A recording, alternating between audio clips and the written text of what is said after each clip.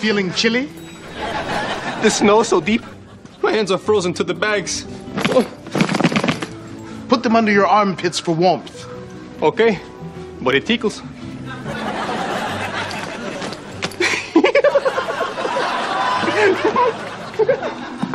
London? Lennon, where are you going? You're supposed to be going that way. Shopping for your Secret Santa. The snow is 10 feet deep outside. Yes, but it's only 20 blocks from here to your favorite jewelry store. And you could always send someone. You're right! I have that power! Esteban! I need you to run an errand for me. Oh no! Do not make me go out into the white blanket of death. The snow of no return. Oh, the blizzard that will freeze your geezer. No, toughen up. It's not that bad. But I am not dressed for a blizzard. Oh, come back here, you coward! Stop thinking of yourself. London wants to buy a gift for someone deserving! And I mean deserving!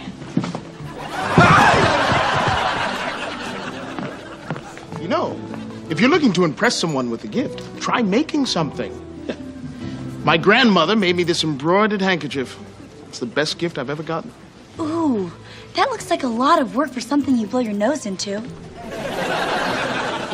You know, a lot of celebrities have taken up handicrafts for relaxation. Oh, once my chauffeur parked in a handicraft space by mistake. He got in big trouble.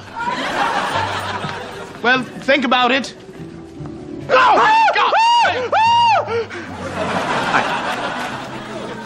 Uh, we're running low on heating oil and none of the delivery trucks can get through. How long can we hold out? Well, according to my calculations, now.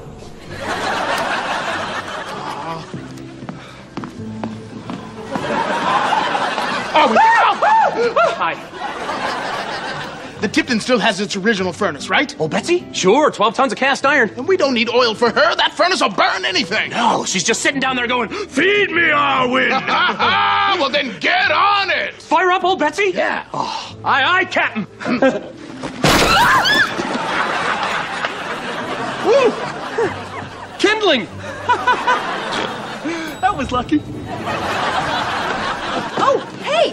Esteban, any chance of us getting a taxi? Oh, I'm so sorry. Not in this weather. The only way you can get around is with a sleigh and eight tiny reindeer.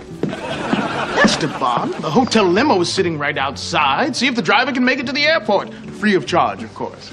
You really do that for us, Mr. Moseby? Of course. I just want you boys to have the best Christmas ever. Even if it means being far, far, far away from my hotel.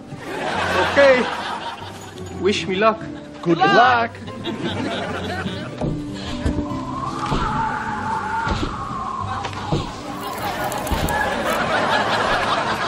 hate the snow.